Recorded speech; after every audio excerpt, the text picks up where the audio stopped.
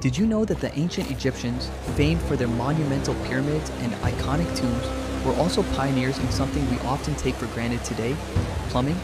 While we think of plumbing as a modern invention, the Egyptians were using advanced water systems thousands of years ago. In ancient Egypt, around 2000 BCE, they developed one of the earliest known water management systems. They built intricate drainage systems in their cities and palaces using terracotta pipes to carry water and waste away.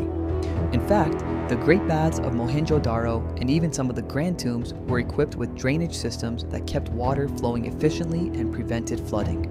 But the Egyptians didn't stop there. Their understanding of plumbing extended to sophisticated water lifting devices. The shaduf, a hand operated lever used to raise water from the Nile River, is a testament to their engineering ingenuity. It was used to irrigate crops and supply water to their cities. The Egyptians also created elaborate cisterns and reservoirs to store water, ensuring a steady supply for both daily use and for agriculture.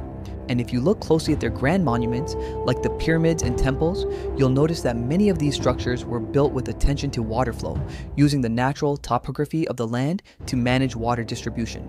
So, while we often think of ancient civilizations as primitive, the Egyptians were way ahead of their time, laying the foundation for many of the plumbing technologies we rely on today.